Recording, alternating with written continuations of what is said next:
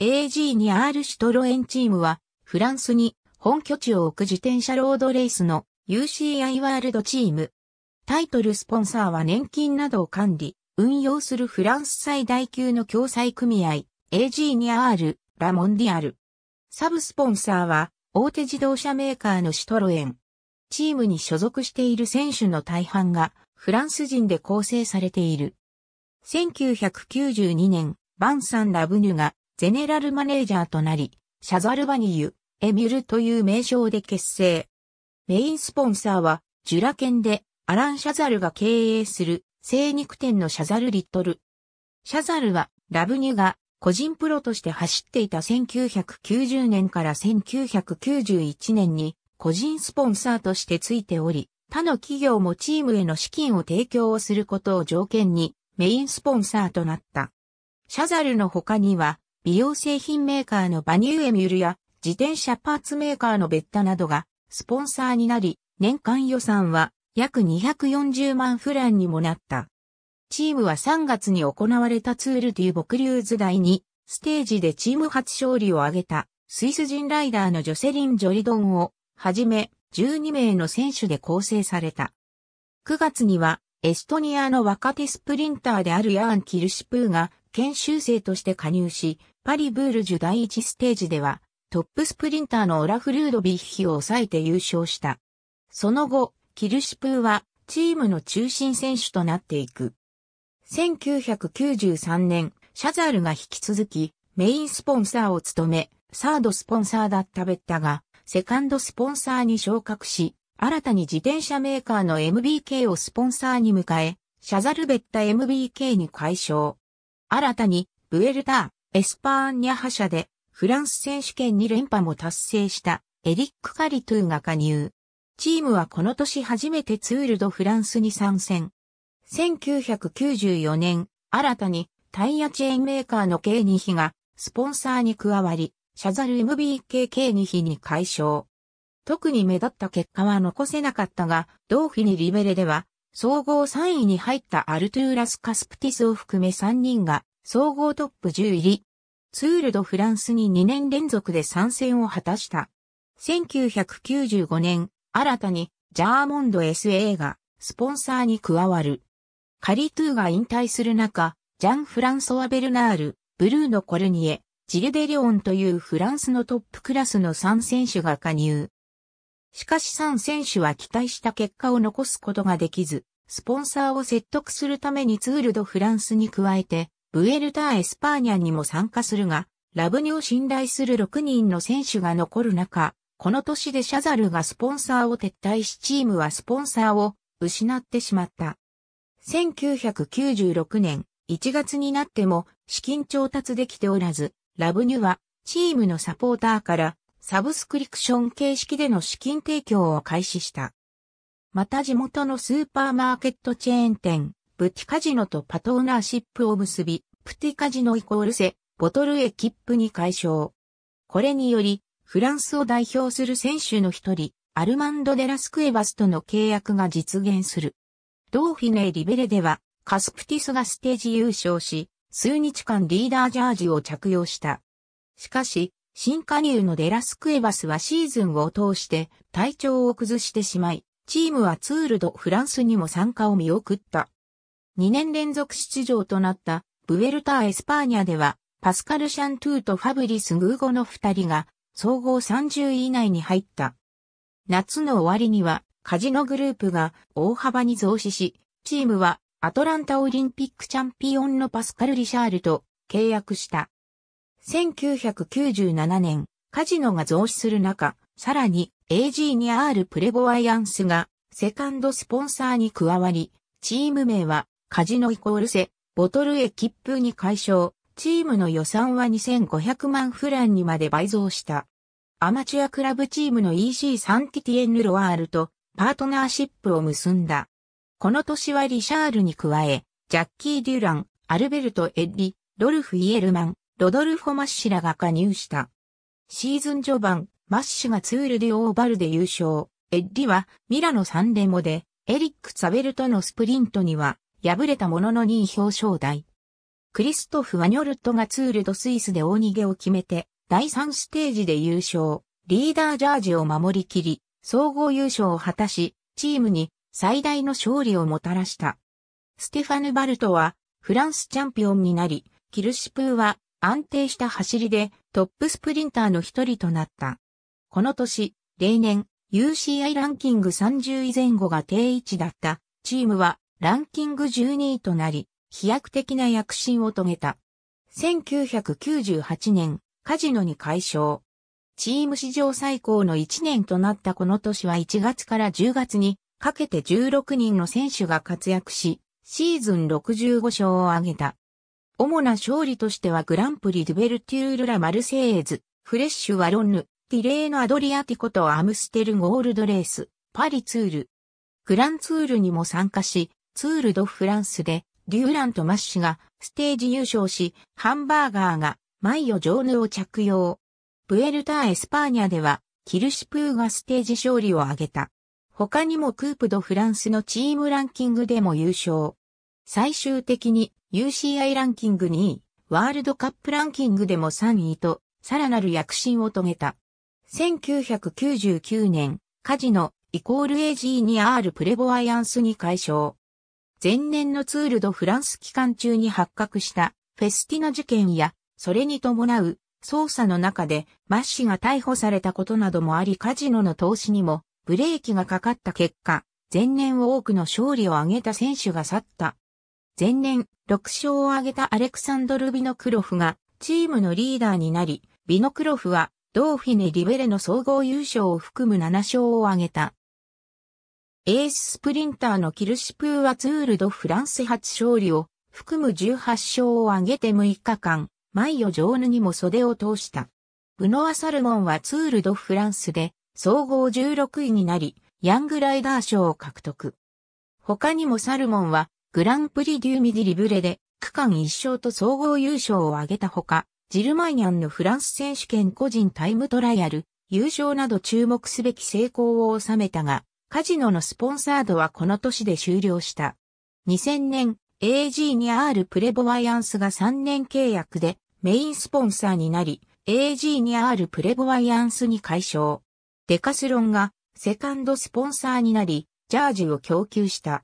しかし、予算は削減され前年エースを務めたビノクロフは、ドイツの競合チームテレコムに移籍。公認のエースは、フェスティナ・ロータスから移籍してきたビノクロフと同胞のアンドレイ・キビレフが務めた。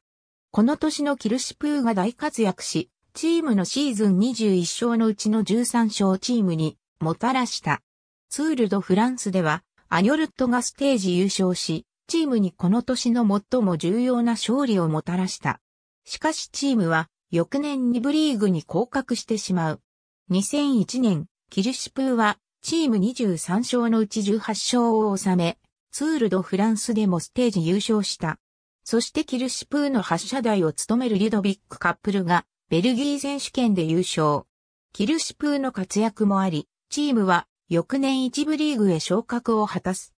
2002年、ブノワ・サルモンがチームを去ったものの2001年ツールド、フランス総合12位のイニーゴ・チャウレアウとチャウレアウのいとこ、ミケル・アスタルロサがチームに加入。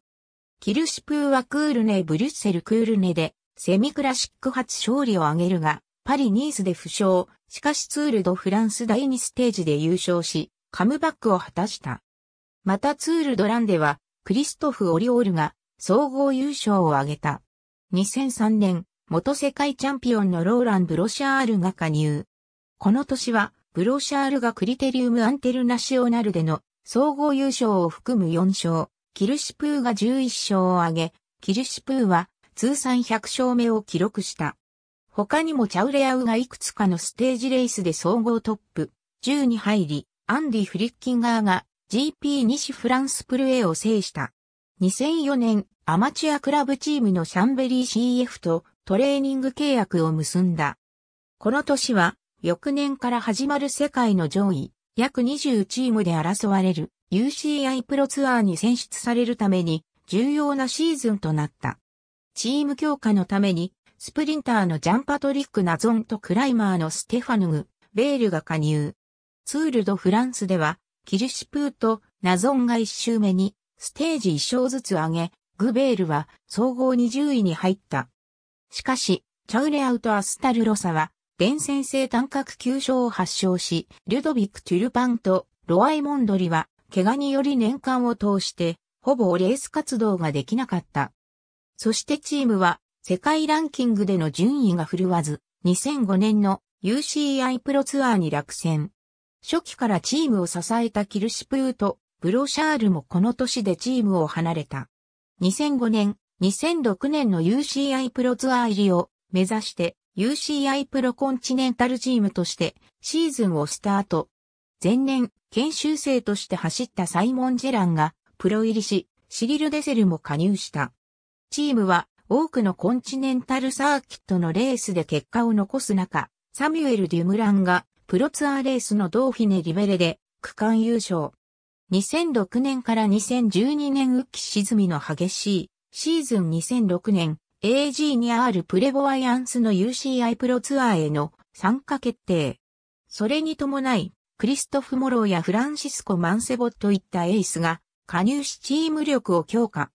マンセボはツールド・フランスでの総合表彰台を目指していたが、オペラシオン・プエルトへの関与が明らかになり、開幕前日にメンバーから外された。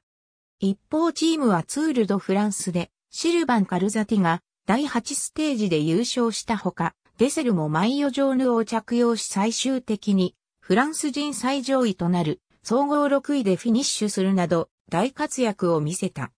その他にもチームはジロ・デ・イタリアではトマス・バイトクス、ブエルタ・ア・エスパーニャではホセルイス・アリエタが優勝するなど3大グランツール、すべてで区間勝利を挙げた。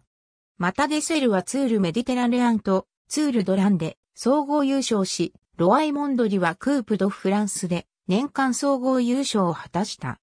2007年、モローがドーフィネ・リベレで区間2勝し総合優勝を達成したこともあり、チームはプロツアーランキングで4位に。またモローはこの年、フランスチャンピオンにも輝いた。そしてジャンパトリック・ナゾンがパリ・ニース第1ステージで優勝し、ジョン・ガドレがツール・ドランで総合優勝。しかしグランツールでは目立った成績を出すことができず、ブエルタ・ア・エスパーニャでのステファヌ・グベールの総合13位がベストリザルトとなった。2008年、スポンサーの名称変更に伴い、当名称に改称。サミュエル・デュムラン、サイモン・ジェランス、クリストフ・モローらの離脱を補うために、ウラディミール・エフィムキンとタデ・バリャベツが加入。この年はツール・ド・フランスでのエフィムキンとシリル・デセルの区間2勝を含む13勝を挙げた。またこの年加入したバリャベツは、ジロでイタリアで総合13位、ツールドフランスでは総合9位に入った。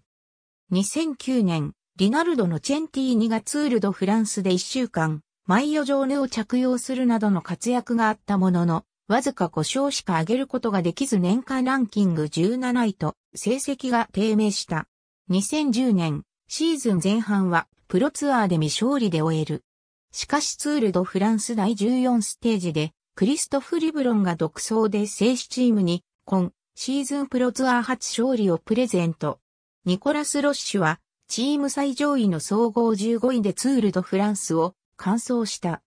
一方、ヨーロッパツアーでは、例年通りの活躍を見せ、マルティン・エルミガーがダンケルク4日間レース、リナルドのチェンティーニがツールメディテラネアンで総合優勝した。最終的にチームはプロツアーで1勝、ヨーロッパツアーで15勝、アフリカツアーで2勝、そしてスイス選手権ではエルミガーが優勝。ロッシュがランキング32位に入り、アンソニー・ラバールが5勝を挙げた。そしてチームは年間ランキング18位で今シーズンを終えている。2011年、ジャンクリストフ・ペローが加入。